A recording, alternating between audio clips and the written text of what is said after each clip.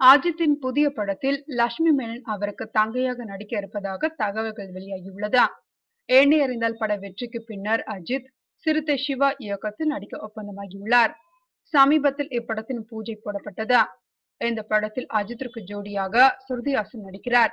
இசை அனிருத். அண்ணன் தங்கை பாசத்தை மையமாக வைத்து இப்படம் உருவாக இருப்பதாக கூறப்படுகிறது?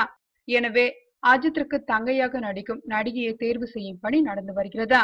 ஒரு படத்தில் ஒரு காட்சியிலாவது அஜித்துடன் நடிக்க வேண்டும் என்பதுதான் பெரும்பாலான தமிழ் நடிகைகளின் விருப்பம். இதனை அவர்களே தங்களது பேட்டிகளில் தெரிவித்துள்ளனர். ஆனால் அஜித்தின் தங்கை கதாபாத்திரம் என்றதும் பல நடிகைகள் ஜகா வாங்கிவிட்டதாக தெரிகிறது? முன்னதாக அஜித்தின் தங்கை வடத்தில் நடிக்க நித்யா மேனன் ஸ்ரீதிவ்யா ஆகியோருடன் பேச்சுவார்த்தை நடந்ததாக செய்திகள் வெளியானது? ஆனால் இருவரும் கையை விரித்து விட்டார்களாம் இதனால் படக்குழு லட்சுமி மேனனை அணுகியதாக கூறப்படுகிறது.